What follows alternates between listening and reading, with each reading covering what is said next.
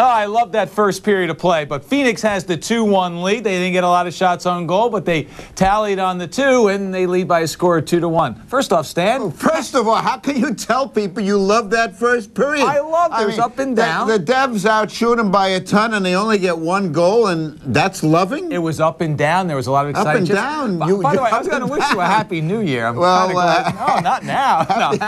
happy 2000. But wait a minute, wait, wait, wait, wait. What's there to love?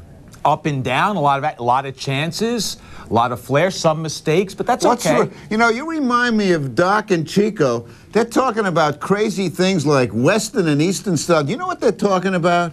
Like they think they, they must they sound like that the, the game is in Montana against Delaware. I mean, the game's still 85 by 200 feet. I mean, so just because one team is skating fast, that's Western style. Well, of course, well, it is, and I'm going What to do you agree. mean it is? I'm going to agree with the big guys upstairs, Doc and Chico. It, it is different. It's a faster, more open style that's played in the West. Do you believe Look that? I mean, do you did- really believe Yes, that? That is applesauce. This guy is wild.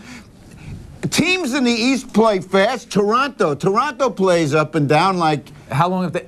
Geographically, they've been in the East forever. How long in the NHL have they been in the East? Come on, let's get it. They mean, just moved from the West two years ago. the- two this seasons is this ago. is this is Looney Tunes. Let's get on a serious subject. Uh, all right, we're, we'll, we'll be serious and, and, and we'll focus. Uh, you want to talk about the guys who were scratched tonight? Yeah, I mean, this is a really serious matter because the Devils have so much talent that if you get a guy like Denis Pederson who scores a big goal, very big goal in Buffalo, and now he's not playing tonight, sooner or later we're going to be deciding, or they're going to be deciding, is it going to be Pederson who, who's going to be dealt? Is it going to be Breland?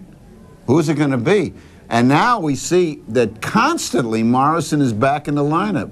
So they can't use that unhappy Morrison kind of thing. It's going to be a tough call. Why can't you continue to do it this way? It's been successful lately, particularly. Pederson misses some game, misses a game, he comes in and he scores. Now he's out of the lineup tonight. I mean, Robbie has Well- done that lately. The guys who have sat out have come back. Well, in. you can do it as long as you have an injured player and you're not over the limit. And that's the situation the Devils find themselves Wonder in. why Sergei you're Nem- smiling. Ser- Sergei Nemchinov has the, uh, the, uh, the the muscle problem in his stomach. That's right. That's right. Now, So why? But why, my, my point is, why can't you continue? well, to you can. Guys? You why can, can't guys accept but, that? But Lou Lamoriello is also looking ahead to the playoffs, and he wants to go in with as airtight a system as possible. I see flaws. I see defensive flaws, and I see I'm not as happy about the power play as Chico and Doc are. I don't see a- an intensity of the power play that I would like, and I like to see you know, when you get a, a guy like Pandolfo on that two arm, I want to see him score that goal. Well, I'm sure Robbie Ftorek would have liked the same. I'll tell you what, it's the millennium of love. But Stan, I'm not as happy about that first period as you are. I loved it. It was great. Western hockey, Yeah. Western style hockey. Anyway, here in the Get, East. get yourself a new map, will you? Look out, Atlas time two one.